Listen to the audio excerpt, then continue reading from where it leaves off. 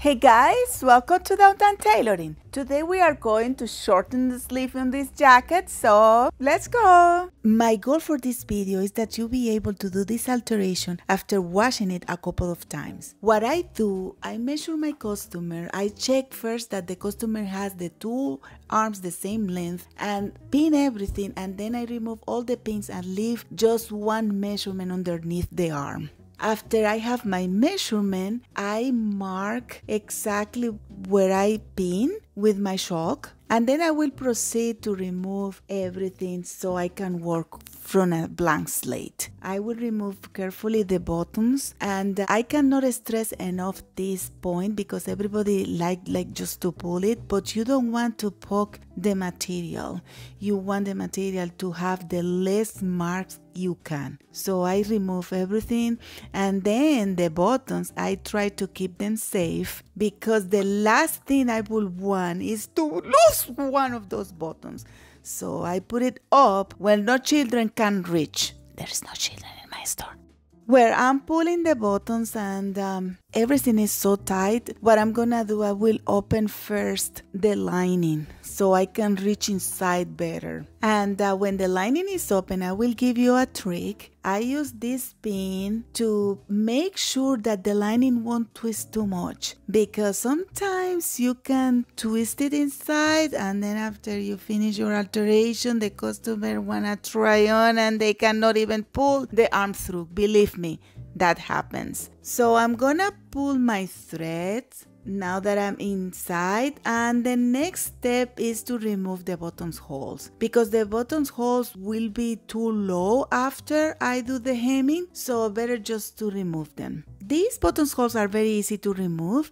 I just not checking what is the side where there are sewn and then I'm going from the last point and open that stitch. And then now I can go to the top part and pull the thread and yes. I will have a little bit of the holes you see but nothing that I cannot remove with the iron. Then I will go proceed to the second one and it's done. The third and that way I can remove all my buttonholes without too much of the pain. If the buttonholes are not like that, then it might be a problem. You have to check what you have to do, okay? That's really, really important. What I'm gonna do now, I will do my first iron just to be sure to start, you know, softening the material where the buttonholes were because I want to erase those holes. I will be ironing so much that, that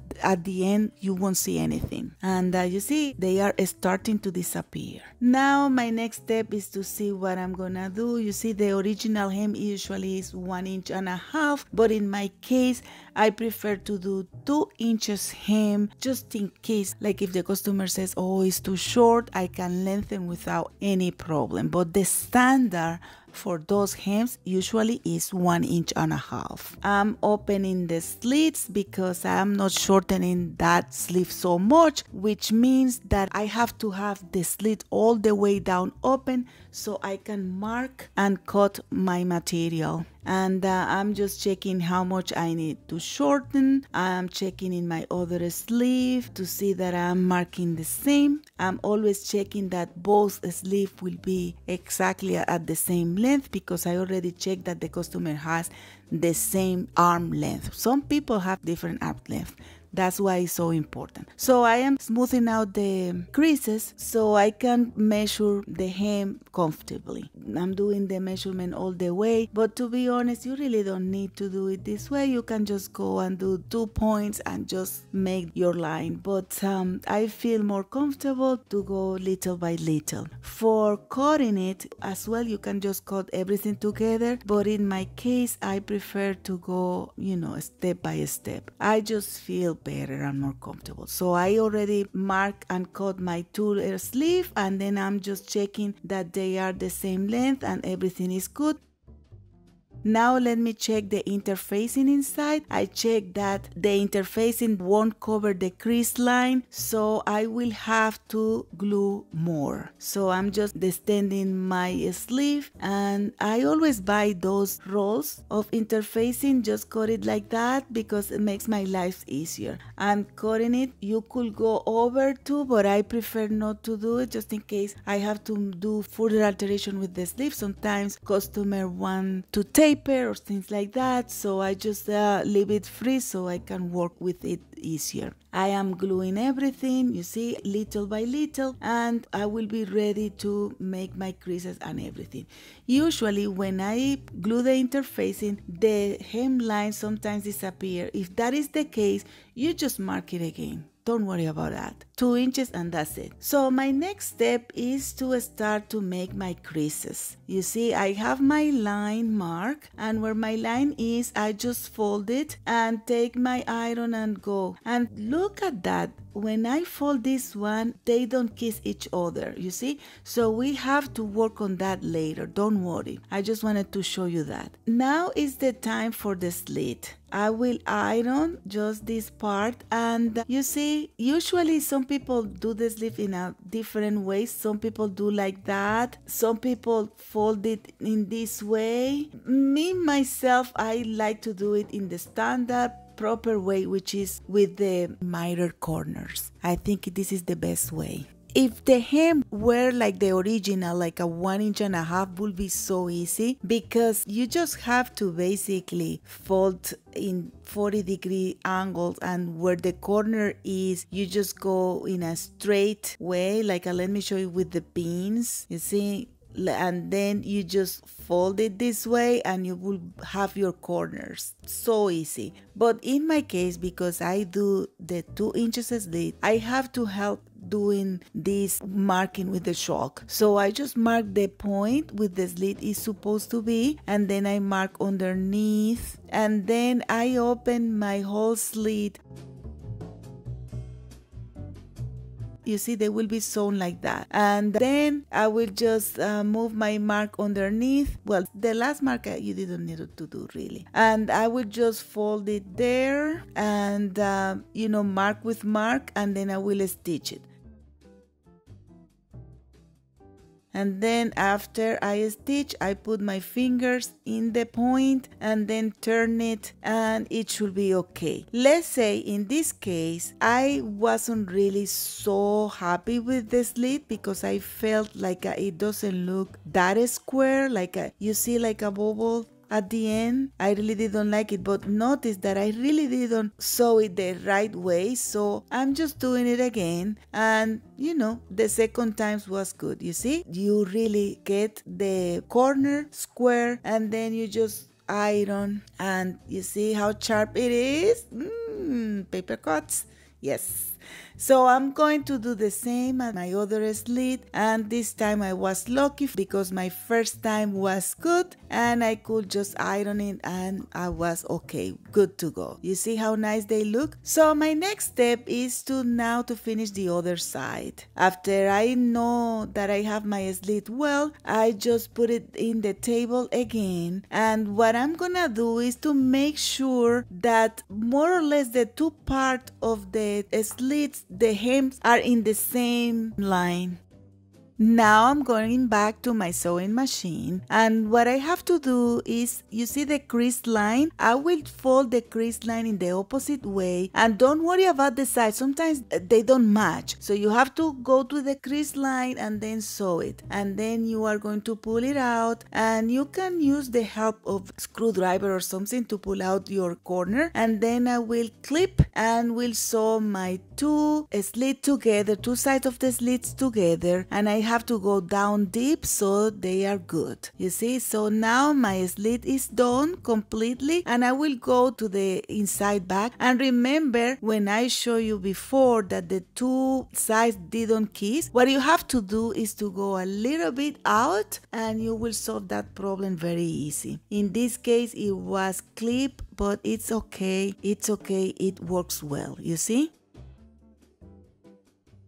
Now is the time for the lining. For the lining, what you have to do is to cut the same amount you cut at the top, you cut to the lining. This is not really the best option, but it's the easiest one. You just take the same amount and you will be okay. And remember the safety pin we put? Now we know that everything is all aligned, no problem. I am going to the underneath seam and I will open the top stitch. They always leave that stitch there. So it's very easy to open because I have to close the lining so I have to go in. So basically what I'm gonna do, I will go and put my hand inside and then I will put together the two pieces and then I will pull it out this way and I will start sewing. I'm sewing from the underneath to one side. When I finish, I take the same underneath and then go to the other side. Always this is the easiest way to sew the inside. You can sew all around but it really doesn't work that well. This is the best way to do it, the easiest one. So you go again to the other side and then you can use this hem fusing tape and you can when you stitch you stitch all together so when you iron it will stick very well. I do not use this one to be honest. Prefer to hem it, but um, you do what works for you. So here you go. This is the way it looks. And now I will tack the inside seam again. So what I'm gonna do, you see the seam allowance? I will sew it to the top part. I will take it like that and I will be very careful sewing this line because you can cut something underneath or whatever. This is a little bit delicate to do but you do it. You check that you didn't cut anything. Is everything okay. Let me check outside. Yes nothing pulling but you see now it's all attached. I will show you the hem i like to do. I prefer to do that instead of the hem facing. You see i just do a very very fast hem by hand and make sure that everything will be flat. And now is the time to close back the lining the way it was before. And here you go it's all done you see the lining should be like that, folding a little bit. This is for the ease so the people can move their arms. And uh, now you just iron it a little bit to give it the shape. I will sew the buttons now. And I have this little plate that I use. This is like a cardboard with the buttons mark. This one is when the buttons are on top of each other, but I have one as well for when the buttons are one besides the other. I use this one but you don't need you can just measure one quarter inch from the bottom three quarter inch from the sides. And the way I sew my buttons you see I check if they have some like this one so kind of mud or something. And I make sure that all the prints are facing in the same side so that looks much better and when I sew the buttons I don't sew the buttons the same way. I just go a little bit like a, if I'm sewing beads more or less in the sense that I don't cut the thread in between and I just sew all of them. You see this one are overlapping one on top of each other you see? This is the way the mother way. This is more elegant and um, this is the way I did it. This is the way it was before. And here you go. This is the sleeve. They are already shortened in this jacket in fact we did the back the center back the sides back. We took in at the collar too because it was creasing too much. So now it's good to give a quick blow so everything falls nice and that's what's all for today. I hope that you like this video. Please don't forget to subscribe share. Let me know in the comment if you really understand. This is a very difficult job but um, i hope that you understood. Let me know if you think you are able to do it. Thank you. Bye